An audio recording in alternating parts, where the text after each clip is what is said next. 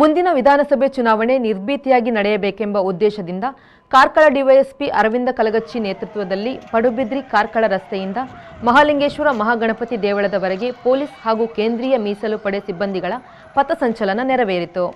ಈ ಬಗ್ಗೆ ಮಾಹಿತಿ ನೀಡಿದ ಡಿವೈಎಸ್ಪಿ, ಇದು ಸಾರ್ವಜನಿಕರನ್ನು ಹೆದರಿಸಲು ಮಾಡಿದ ಪ್ರಯತ್ನವಲ್ಲ.